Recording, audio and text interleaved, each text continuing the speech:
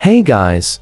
Today let's learn how to fix broadcast channels not showing on Instagram. So in the case that you cannot see your broadcast channels over on your Instagram application in this video tutorial, I'm gonna teach you guys how to fix this issue step by step. So please watch this video until the end to find out just how. Alright guys, so what we need to do first is I'm gonna show you guys where to locate. Your broadcast channels are on Instagram, so launch your Instagram applications and your broadcast channels should be located over onto your DM section. So tap on your DM section and tap over here on your channels. And you should see your broadcast channels over here. Now, if you have any broadcast channels or have joined any broadcast channels, let's say for example this one right here, it will show up on this channel or this tab when you tap on join over here. Now guys, if in the case that you cannot see where your broadcast channels are, you have to double check your internet connection with your Wi-Fi.